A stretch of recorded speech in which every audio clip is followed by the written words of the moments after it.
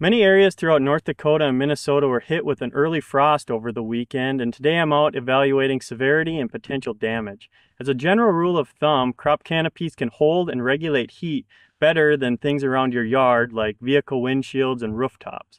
So if you woke up on Sunday morning and saw frost on your roof, that doesn't necessarily mean that your crop froze. In soybeans, the top of the canopy can easily be damaged when temperatures and frost uh, range from 30 to 32 degrees. A killing frost can usually occur if plants are below 30 degrees.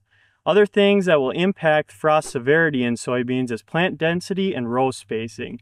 You may see the more narrow the row spacing and the higher the plant population, the better they retain heat, which protects that mid canopy and lower canopy. In corn, we can see leaf damage in the upper portion of the leaves between 30 and 32 degrees. In these situations, the stalk and shank will remain undamaged and the lower leaves that are undamaged will continue to contribute to yield.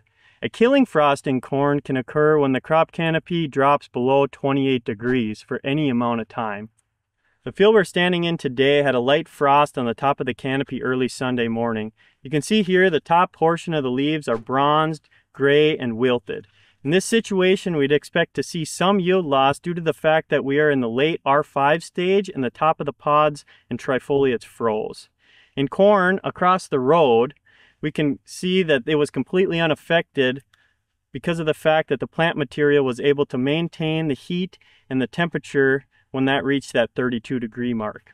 As you're out looking at your fields, now that it has been 24 to 48 hours since the frost, the unaffected plants are standing out quite a bit more. If you see any gray, bronzed, and wilted plants, pay attention to how far down in the canopy that that frost went, along with the crop stages. These are the two biggest factors when diagnosing severity of the damage. If you have any questions, make sure to reach out to a local member of your Pioneer team. That concludes this Pioneer Agronomy video podcast.